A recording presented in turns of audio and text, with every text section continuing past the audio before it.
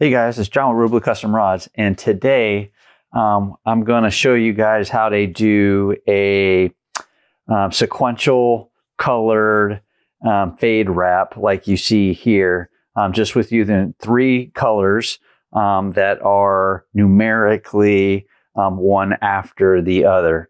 and so the colors that I'm going to use for this demonstration are ProWrap Color Fast thread, so NCP thread color codes 307, 313, and 316, which 307 is fuchsia, 313 is rose, and 316 is raspberry. Um, so what we're going to do, um, and you can see they're pretty similar just by looking back there in the back, but what we're going to do is we're going to go ahead and start with 307, which is the fuchsia color.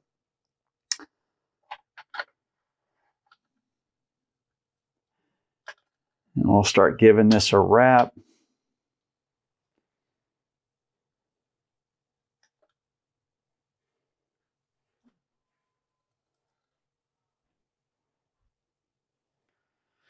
So now that we got this started, and so why a, a, sequential number fade wrap?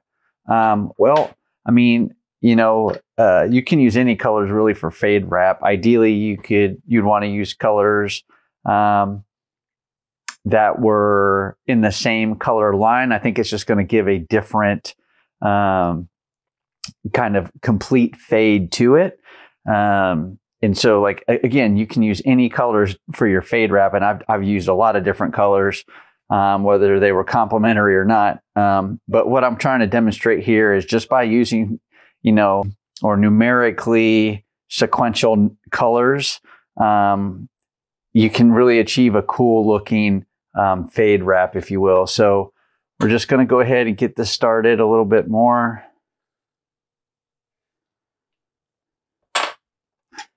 Cut that tag wrap off.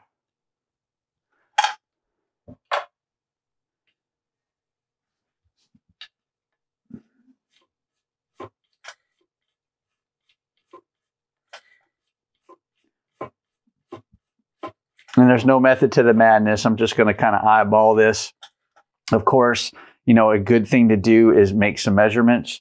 Um, and you know what? We're just going to do that because that's the right thing to do to help it make it look very, very even. Um, so let's say here, and let's say we're going to go half inches.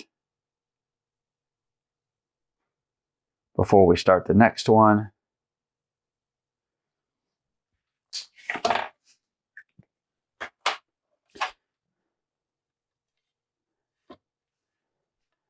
So we're going to run this uh, fuchsia color all the way down to our half inch line, which won't take long at all. All right, so now that I'm starting to get there, the other thing I want to do is I just want to make a mark where our bottom line is going to be at. And now what I'm going to do, um, again, fuchsia is 307. And the next number um, sequentially after that is rose color, which is 313. And now I'm going to take that rose color. I'm going to come in. And we're going to go ahead and secure that with some tape.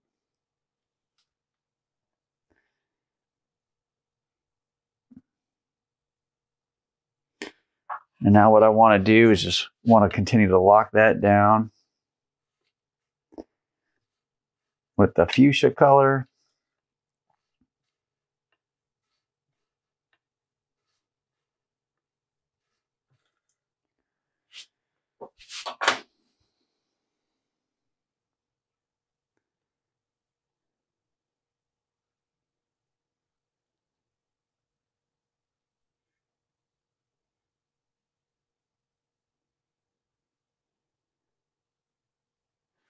Now, what I want to do is I'm going to take this rose color and I'm just going to make one pass, just like I've showed you in previous, you know, fade wrap videos. I'm going to make one pass, come underneath,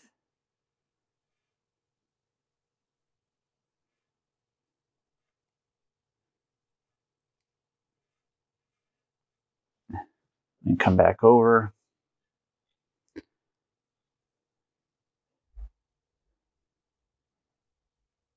Hold it there with my fingernail, pull that tight.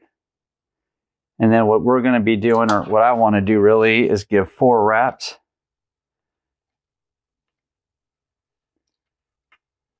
And if you ever forget, you just back it off, of course. So that's one, two, three, four.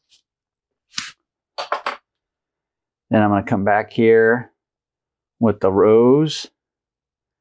And now we're going to make two passes. Come underneath, over, and then under that working end of your primary color, which is the fuchsia.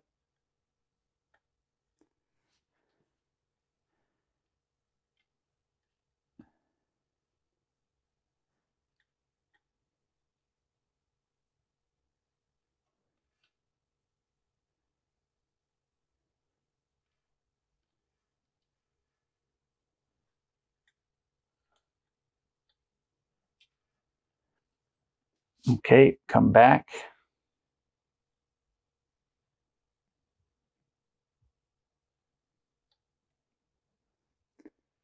Knock that down. Now we're going to pack our thread.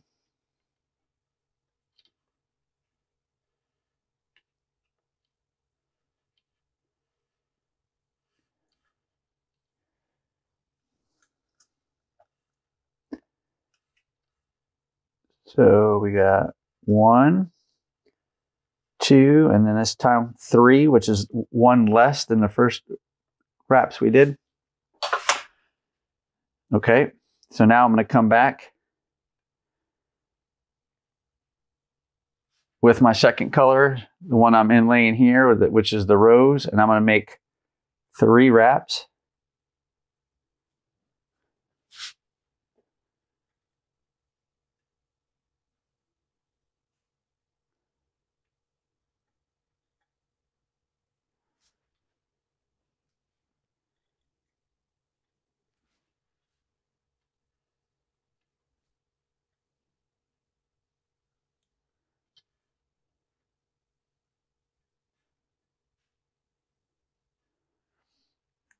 And we'll do one more. Then I'll come back and we're going to pull that line tight a little bit.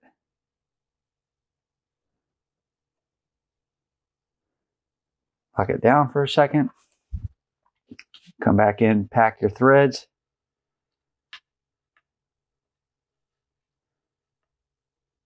Okay, and so you can see how that's starting to come out. And it's a it's a subtle blend right? But uh, what i want to do is i want to back this one off. So i did you know one wrap with the rose four wraps with the fuchsia two wraps with the rose um, three wraps with the fuchsia three wraps with the rose and now i'm going to do two wraps um, with the fuchsia. So i'm just going to back it off. And so there's one wrap on there and there's two wraps.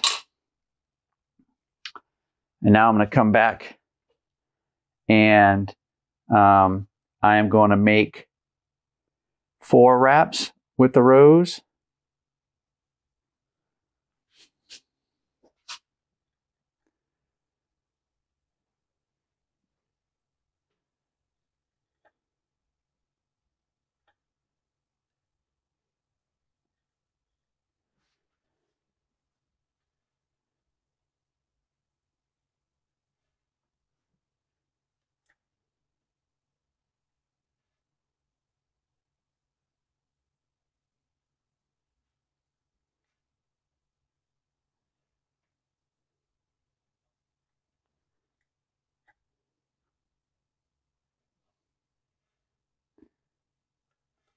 And then we're going to back that off again.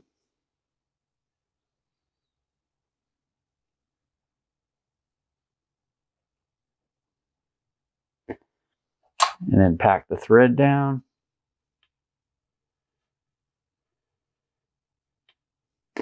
And then we're going to back that off to where it's just one complete wrap.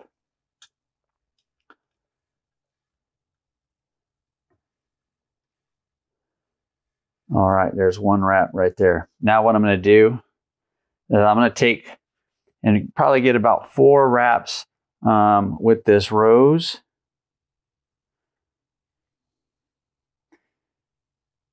Because what I want to do is I want to continue on with the rose color as the main wrap color. So two, three. Actually, we're going to go with three. And then what I'm going to do is get my line here to where I can tie off this rose color and secure it. You'll see what I'm talking about here in a minute.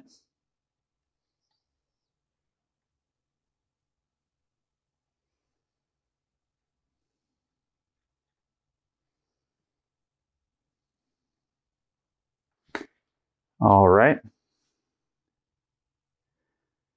Now I'm going to secure this rose color.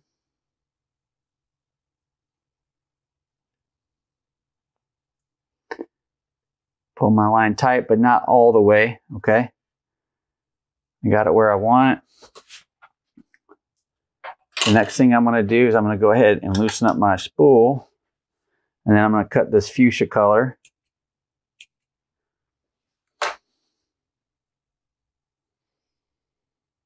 I'm going to take this fuchsia color and I'm going to pull it tight on my line. Sorry, take my varnishing tool, burnishing tool, excuse me, pack it in there. And then now what I'm going to do is I'm going to pull that rose color through. Tighten it down a little bit.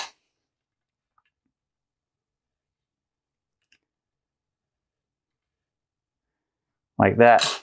Now what I want to do, I'm going to, you see back here in the back, I'm going to take this fuchsia color off, which I'm completely done using now.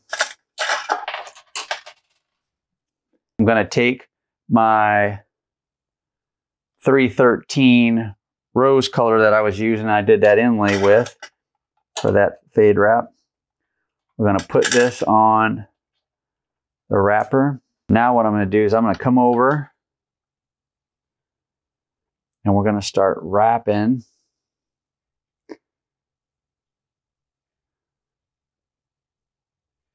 this rose color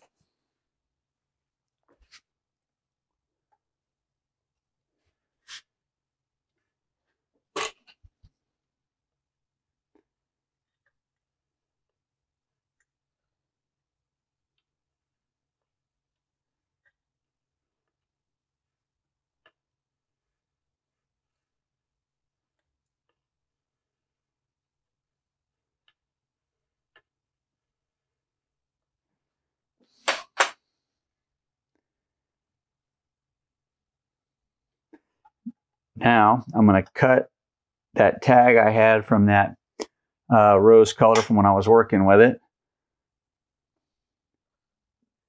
The next thing I can go ahead and do is cut that tag right from that fuchsia color that we started with.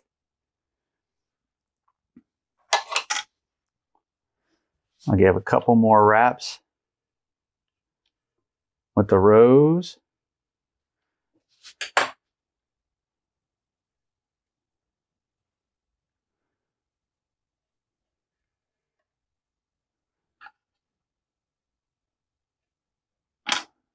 We'll cut that. Now we're just going to get some good wraps on here. And I think what I'm going to do, again, we're going to measure. We did a half inch for the first time when we went by with the fuchsia color. So we're going to measure. And so now I want to measure from that one line. And we want to go a half inch. And so that's where I want to come in with uh, the third color, which will be um, the raspberry. So that's where I want to introduce that one at. So let's go ahead tighten this down.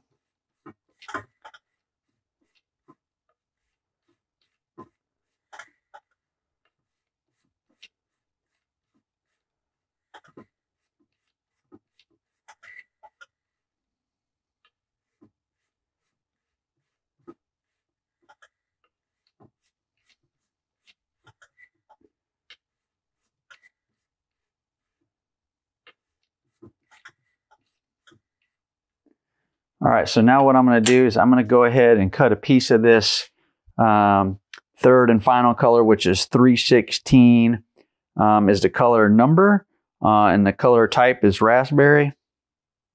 So now we're going to go ahead, cut that piece of raspberry. Now we're going to go ahead and lay that color down and get it secured.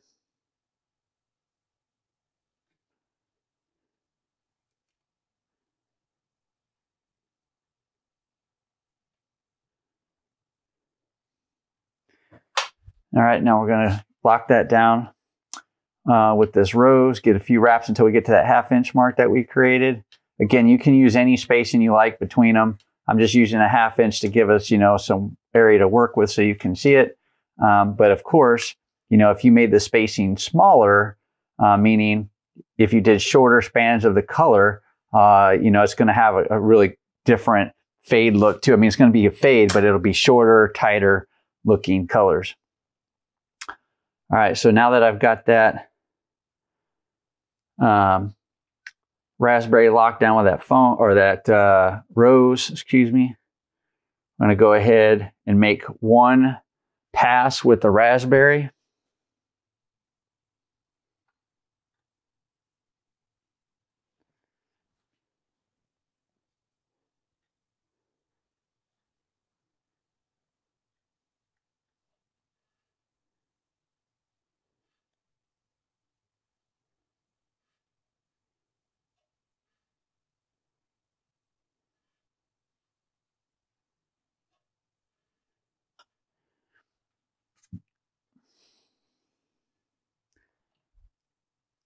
And we're going to take our line.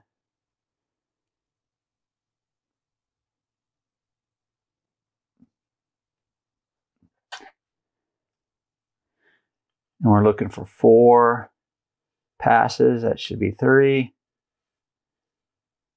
And that should be four.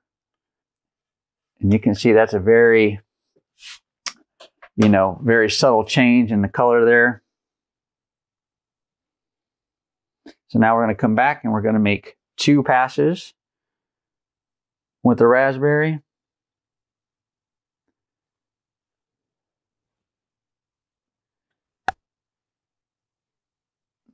And remember, the key here uh, when you're making these wraps is to come, you know, towards you, back around and over the top, and then over your working line right here.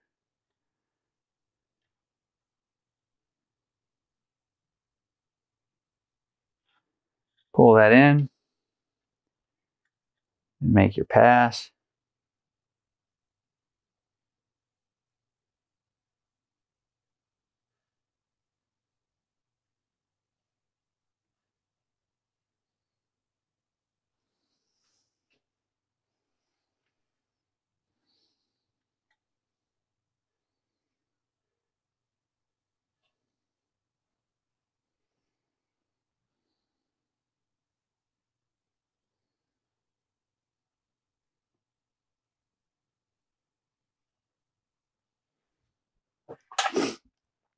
Tighten that down.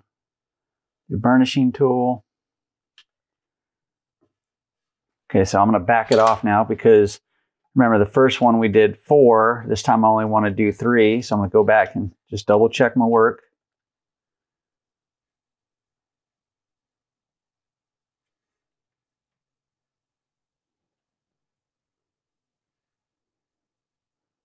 Yep, so one, two, three. All right. Now we're going to come back with the raspberry and we're going to make three passes.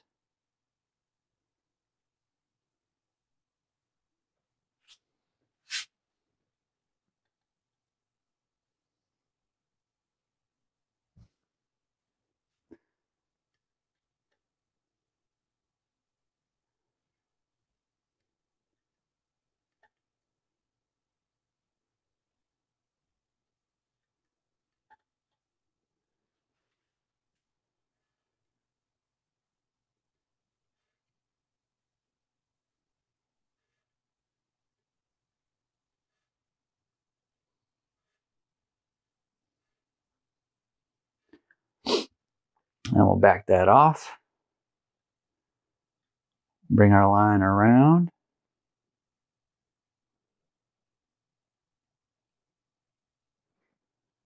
Secure it.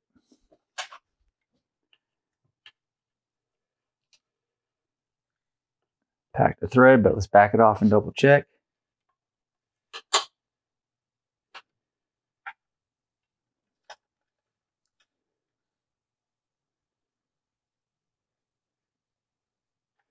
All right, so now we're just going to make two passes.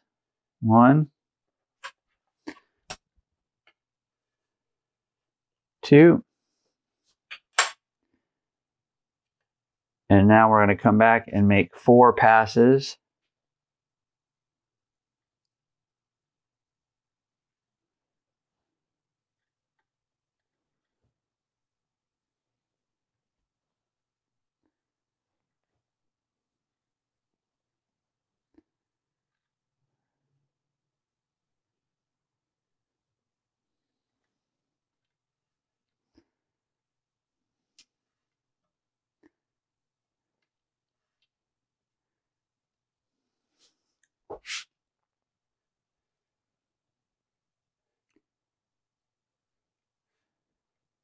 All right. And I'll back this raspberry off a little bit.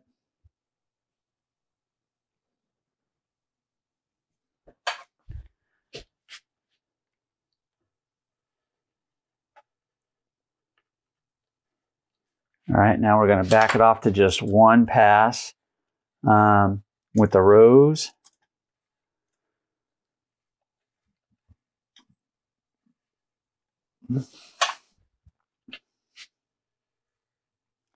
So that's one pass with the rose. And now what we want to do is take the um, raspberry and we're going to make a few passes over the top of this.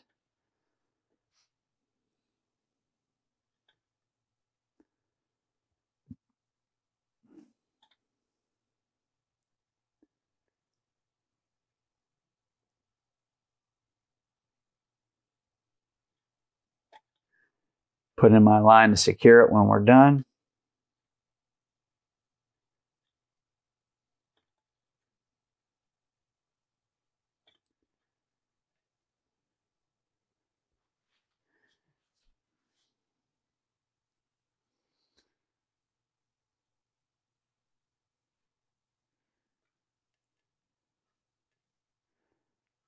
going to pull my line just a little tight, not popping it all the way through.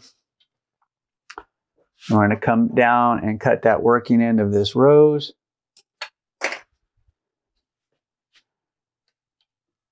Pack the thread.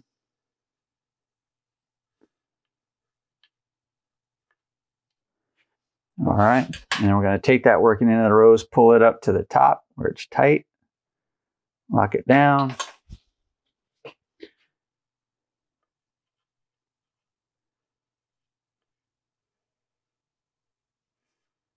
And then go ahead, pull, give it a nice little tug, pull that working end of the raspberry out of there. And then we'll repeat, do the same thing. We'll take off the rose from the wrapper, come back with the raspberry, put that on there. And the same thing, we're just going to go ahead, take some of this raspberry,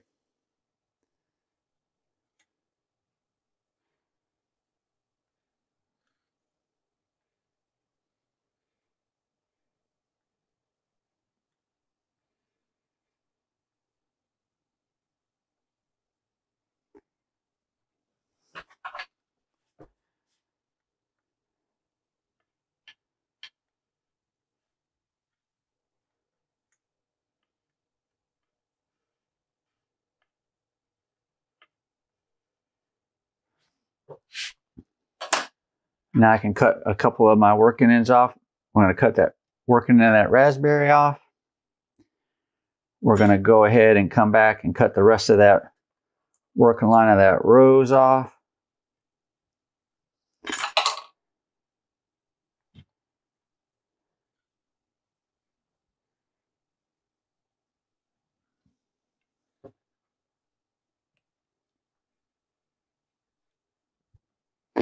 And this is my ras, oh, excuse me, yeah, my raspberry color. I'm just bringing it up to the top. Make a few more passes to secure that down. All right. Then we cut off the rest of the raspberry working end.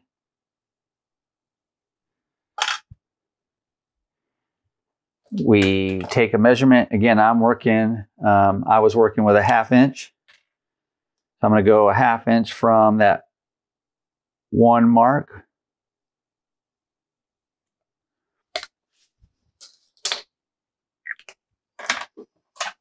And then now we're just going to go ahead and wrap that raspberry all the way down to our half inch mark. That way everything's symmetrical, if you will, measured out.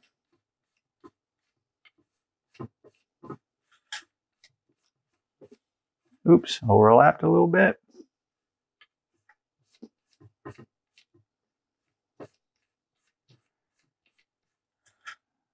All right, so let's go ahead and pull out our white tie down thread.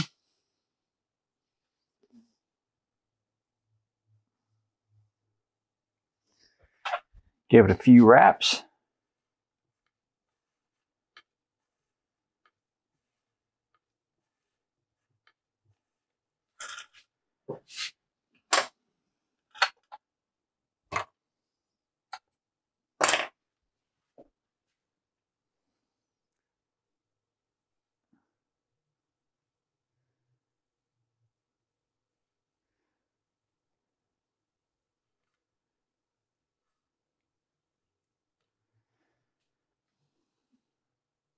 Give it a little tug on the line.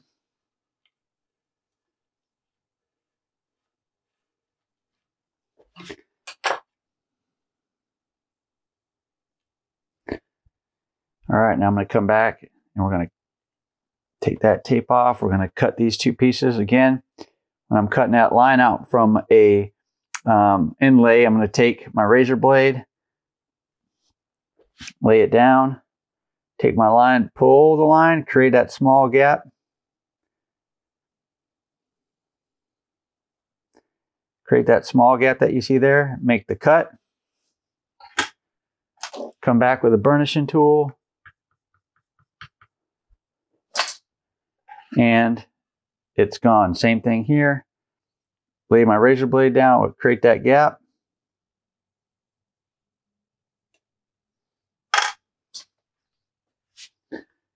Burnishing tool. And then that's it. So that is a sequential color um, fade wrap. Again, those colors are 307 fuchsia, 313 rose, and 316 raspberry. Um, and that gives you, you know, a great idea of just like by taking the same colors, but different shades of that color um, and creating a fade wrap, you can come out with some pretty um, unique looks. So, hey, I hope this helps. Uh, I hope you found this video useful. Uh, if you got something out of it, please feel free to share it. Make sure you hit the like button. Um, and thanks for watching. Make sure you guys watch this next video here. Until next time, guys, take care.